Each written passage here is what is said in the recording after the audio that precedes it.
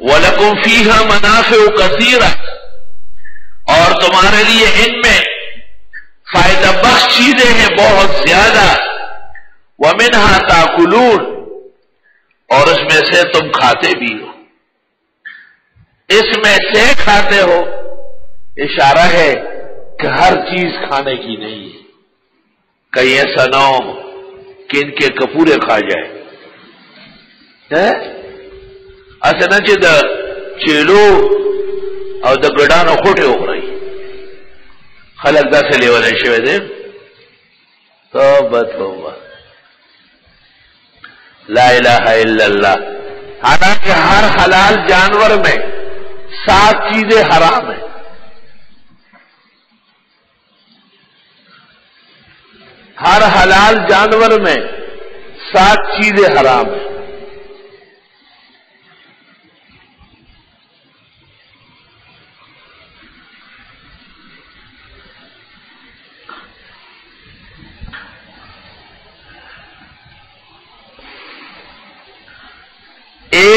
एक है।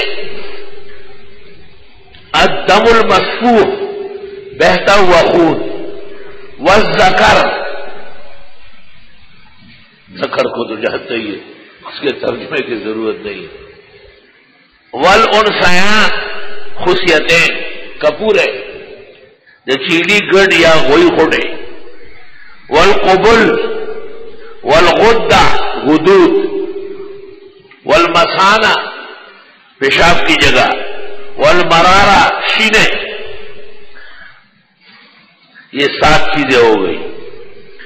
बदाए सनाए जिल पाँच सफ़ा इकसठ। फताव शाम जिल पाँच सफ़ा सतानवे। इमदादुल फतावा जिल चार सफ़ा एक सौ अठारह। बदाए सनाई जिल पाँच सफ़ा इकसठ। फताव शाम जिल पाँच सफ़ा एक सौ सतानवे। इमदादुल फतावा, जिल चार सफ़ा एक सौ अठारह।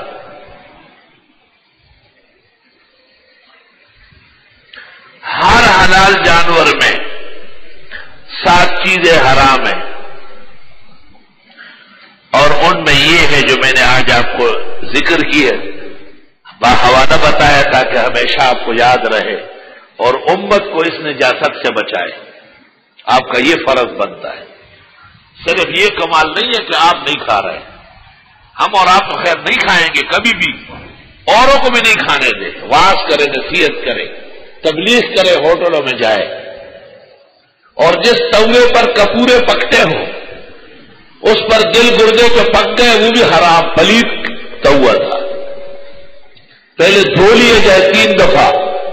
चौथी मरतबा आग से या मट्टी से मांझा जाए, तब जाके उसके ऊपर दिल गुर्दे पका के आप खा सकते हैं, वरना हराम और पलीत तवे के ऊपर या कढ़ाई में, जिसमें पहले कपूरे पक चुके हैं, कोई चीज़ भी डाली जाए, जैसे पेशाब के बोतल में आप पानी डाल के पिए तो वो भी मुर्दार और नापाक हो जाए। वमिन हाथाकुलून मिन तबीजिया है। और इनमें से कुछ तुम खाते हो। सात चीज़ें हराम है हर हलाल जानवर में। और हर मुर्दार जानवर में दस चीज़ें हलाल है। उसकी किस दिन तफसील करूँगा। खजानत और रिवायात के अंदर ये मौजूद है।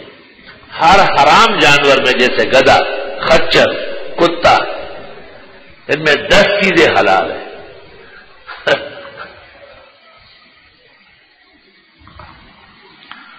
ऐसे बाल वाल हड्डी वड्डी किसी ज़रूरत के लिए।